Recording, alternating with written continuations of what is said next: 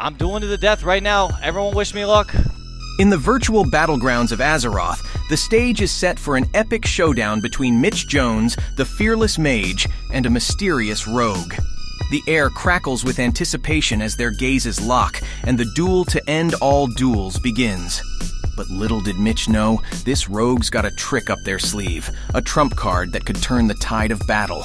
As the tension mounts and the seconds tick away, the audience holds its breath, wondering who will emerge victorious in this high stakes clash of titans. What, why is he immune to everything? Do not kill me with your cheap shit. Light of Elune, immunity time. Mitch is in for a surprise here. The light is an alliance only item that grants immortality for 10 seconds.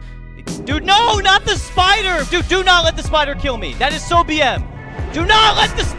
I should have never dueled to the death there.